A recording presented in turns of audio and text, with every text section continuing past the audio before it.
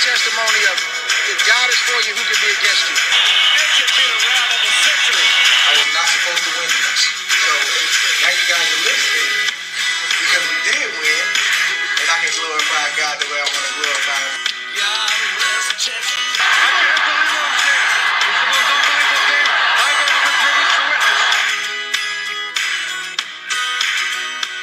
Welcome, welcome, welcome, welcome to another episode of 3D Boxing Podcast. We are back. Uh, boy, what did I witness today? I mean, that was spectacular. One of the great heavyweight fights of all time. The greatest heavyweight fight since when? Holyfield Bowe? The, uh, the Thriller in Manila? Y'all tell me this was the best fight since when? Because it, it's up there. It's on that list. That was epic. But before we get into that, please like and subscribe, share on all forms of social media. Uh, 3D Boxing blog. Uh, also, please subscribe to our other channel, Texas Boxing Scene.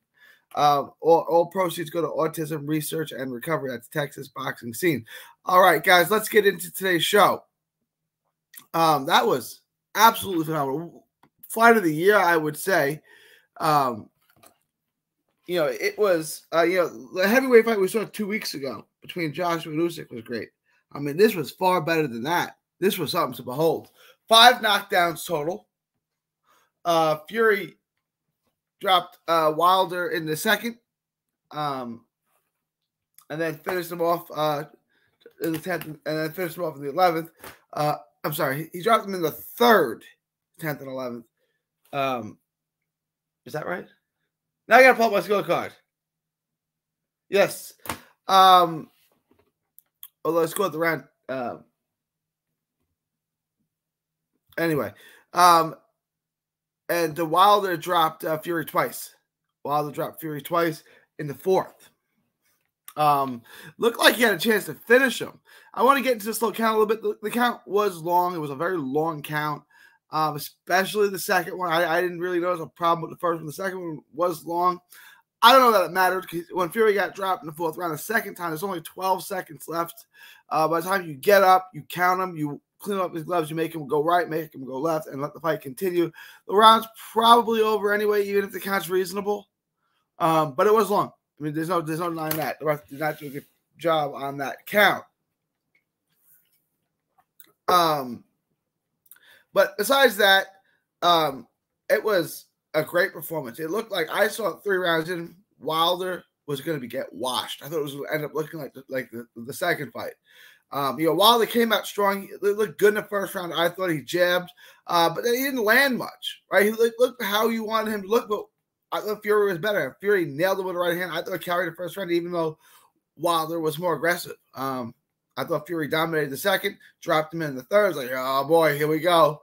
And then Wilder got cooking. Wilder dropped him twice in the fourth. You know, like it got close to finishing him. For a moment, it looked like he may stop him here in the fourth round.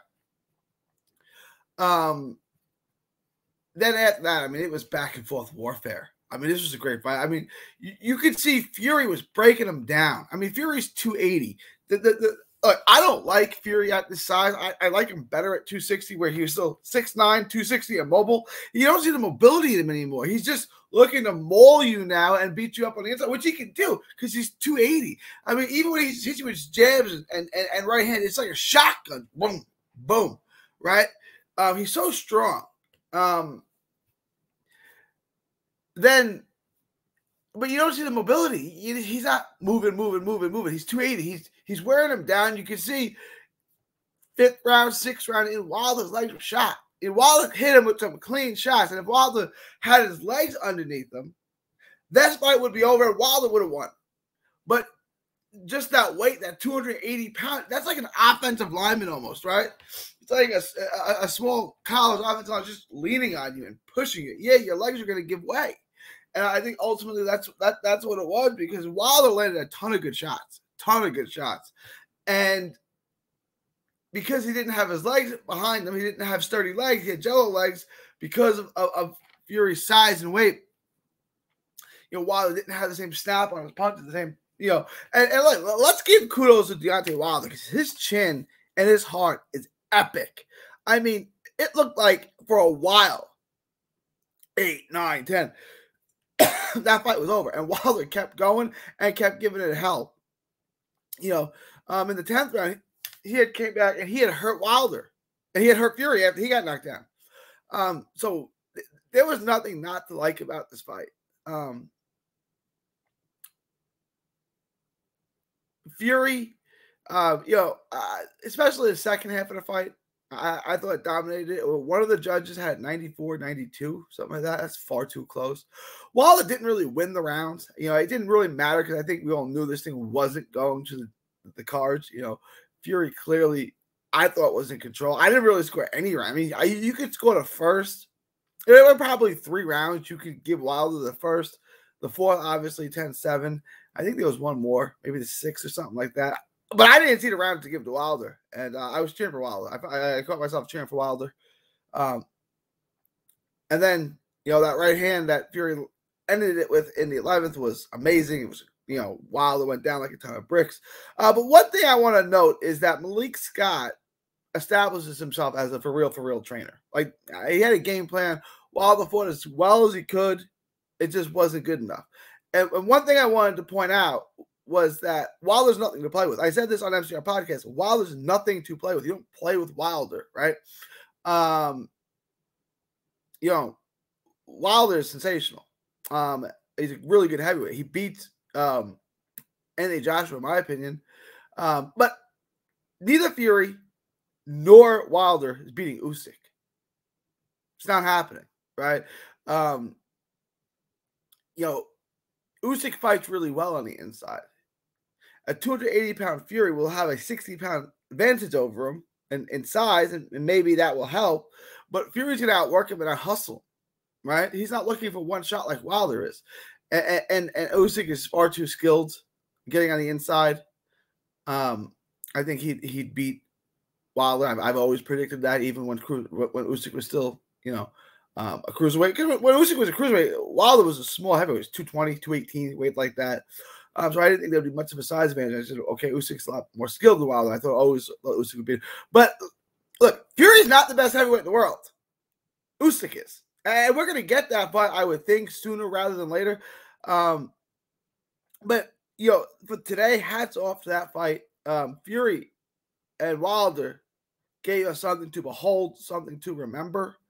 Uh, heavyweight division is in really good shape. That's two great heavyweight fights we've got in a couple of weeks. I mean, um, and, now hopefully uh, we see Wilder again. I, I, like to see Wilder versus Helenius. What do you guys think of that fight? I think that'd be a fun fight, right?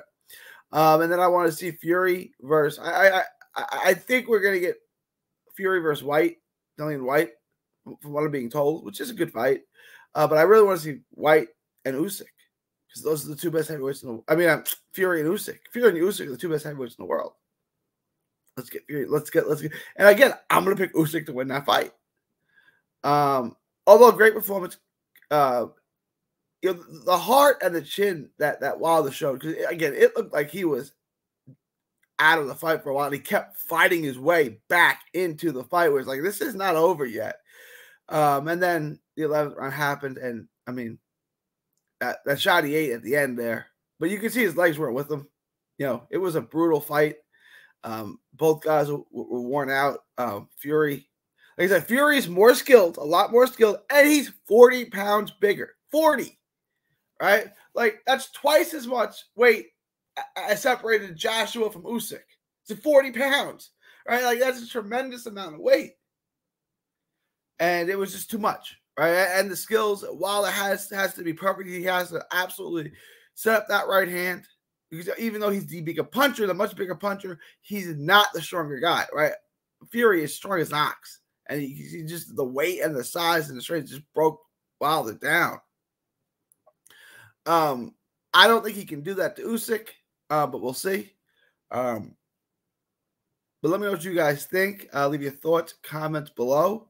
Um, what was your prediction? I know most people, most of y'all pick Fury, although I did see about a third, 30% of the people, maybe a little bit more, picking Wilder. So uh, let me know what you guys think. Leave your thoughts, comments below. And it's the best heavyweight fight since when? Right? Bowe Holyfield won? Maybe. You know, I don't know. Um, Ali, uh, Frazier three. I don't know. Maybe. I mean, but it's on that it's on a short list of great heavyweight fights of all time. Uh, thoughts, comments below. Please like and subscribe. Um, it is October 9th. Uh, that's October 10th, uh, 2021. Ivan Calderon is still not in the Boxing Hall of Fame. Let's get the Iron Boy in. It's that time of year again. Let's vote for the Iron Boy to get into the Boxing Hall of Fame. Uh, from Texas to the world, thank you and God bless. Don't miss a tweet, post, story, or video. 3D Boxing is on Twitter, Instagram, and Facebook. Hit the subscribe button now to stay inside the ring.